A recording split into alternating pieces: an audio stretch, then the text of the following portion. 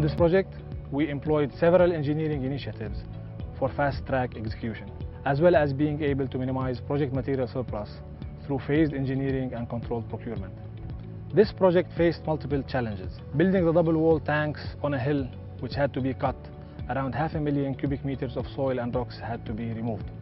The foundations of these tanks were 2,300 cubic meters of concrete each, and in order to avoid having joints in these foundations, we had to do continuous pouring for 13 hours, which proved to be a logistical and supply challenge for ready-mix concrete. The roofs of the double-wall cryogenic tanks, each weighing approximately 310 metric tons, were assembled inside the tanks and lifted to their final position at the height of 36 meters using nothing but air.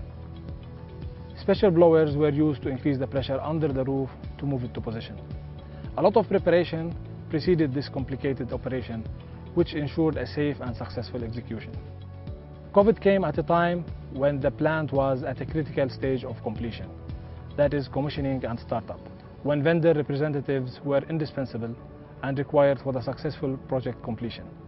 However, worldwide travel ban, unavailability of flights, visa restrictions, and mandatory quarantine made it extremely challenging to mobilize vendors. In addition to this, Oman had several lockdowns, further impacting the completion of works.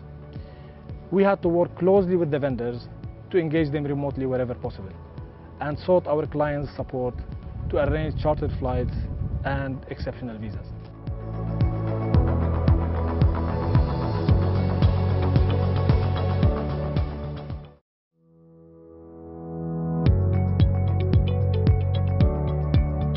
We are committed to working with local suppliers and develop their competencies, their capabilities, their quality standards. We, we see this uh, and we, we, we really we don't do this because it is expected of us. We, we do this because we want to do it.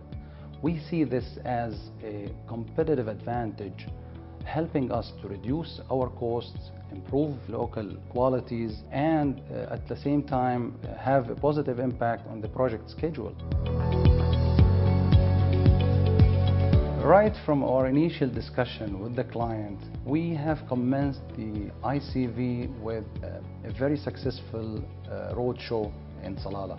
Actually, more than 100 companies been invited uh, to participate in this roadshow where we have collected the database of these companies and we've created the list where we made sure these lists are included in, as part of all the invitation to tender, what we call it the ITT documents, or our subcontracts to the main subcontractors when they go and invite the tier subcontractors to bid for packages uh, as, as part of their scope of work.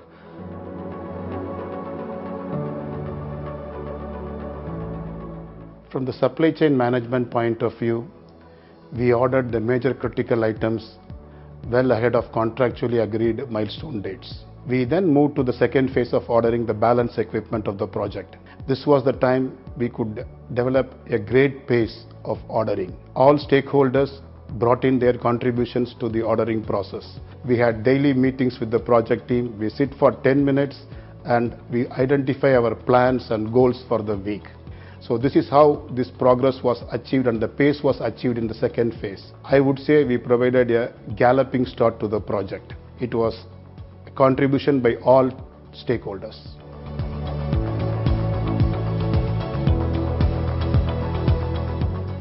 We did our groundwork and we took on board lot of Omani suppliers for the project.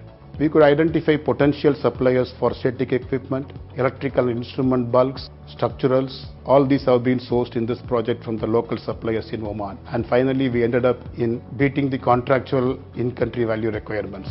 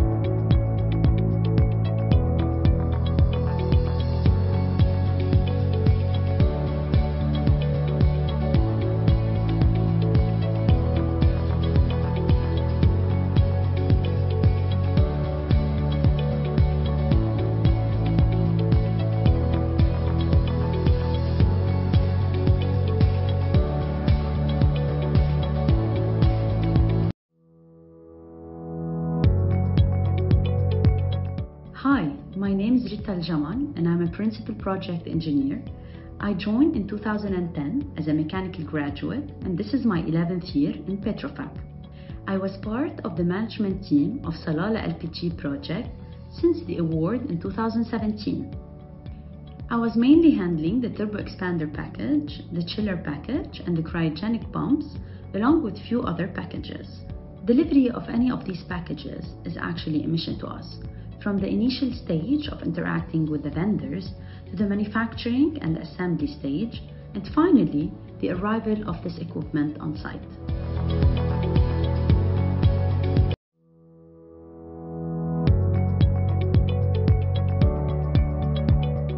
Hi, my name is Muntasar Hilal Al Hinai. I am a chemical engineer graduated from Sohar University. I joined Petrofac June 2016. During my career with Petrofac, I have had the opportunity of being exposed of three huge projects, such as Sohar Refinery Improvement Project, BP Ghazeer Phase 2, and Salalah Liquefied Petroleum Gas, and wish to build forward more with Petrofac journeys. I am in charge of the pre-commissioning, commissioning, and completion and storage and jetty area. In charge to commission and coordinate with vendors such as loading arm, as propane, butane, and condensate, and BOG compressor and chiller package. Prepare and maintain commissioning record of site observation, testing process, and checklist, following up with my team of the punch list closing, track and review progress through meeting, going through all the permit under my area to keep my area safe to work. My biggest accomplishment was being the youngest Omani to work for commissioning department with more responsibilities. I worked hard for this and I am proud. Well, I joined Petrofac June 2016. I was fresh engineer with no experience, so every month at site was my biggest achievement as site experience had given me a better appreciation of design, problem solving skill, managing a team, managing a client expectations, and a technical experience.